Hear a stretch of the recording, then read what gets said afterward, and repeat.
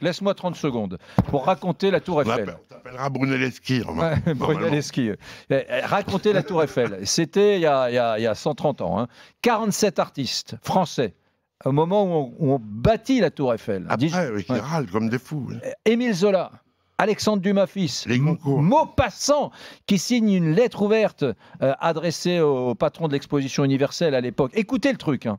Nous venons, écrivains, peintres, sculpteurs, architectes, amateurs passionnés de la beauté, jusqu'ici intacts de Paris. Nous venons protester de toutes nos forces, de toute notre indignation, au nom du goût français méconnu, au nom de l'art de l'histoire français menacé, contre l'érection, en plein cœur de la capitale, de l'inutile et monstrueuse Tour Eiffel. L'Italie, l'Allemagne, les Flandres, si fiers à juste titre de leur héritage artistique, ne possèdent rien qui soit comparable au nôtre et de tous les coins de l'univers, Paris les curiosités et les admirations. Lorsque les étrangers, écoutez bien, lorsque les étrangers viendront visiter notre exposition, ils s'écrieront étonnés. Quoi?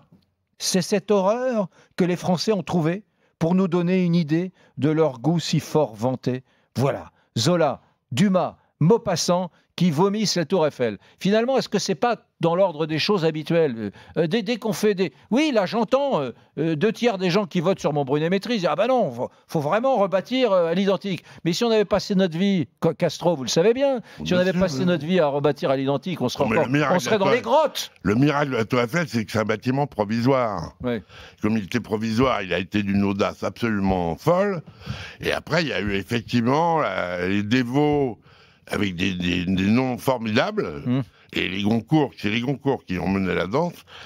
Donc il y a eu des gens qu'on on n'imaginait pas euh, aussi conservateurs comme Zola. Mm. Bon, pour aller.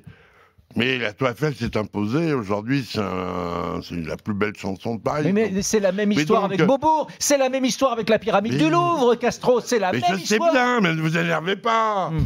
Mais alors vous pourquoi vous, pas. pourquoi vous, vous voulez que on ait. Notre-Dame dans son Je trouve, je trouve que dans le cas précis de ce monument, qui est le point zéro du kilomètre de Pa- Mm. en France, je vous signale, qui est un endroit euh, euh, tellurique, Mm. on n'a qu'à dire bizarre.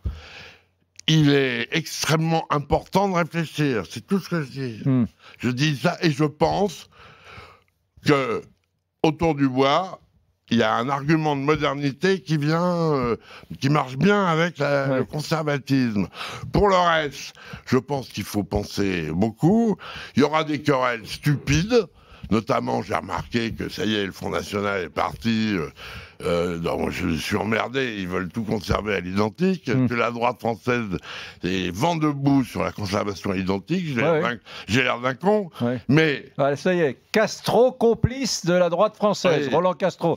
J'aurais mais, jamais mais cru je entendre un pense truc que pareil. sur la flèche, Lui, l'architecte de gauche. et la flèche, mais la flèche sera peut-être un grand événement Hmm. contemporain qui aura du sens, Hmm. je l'espère.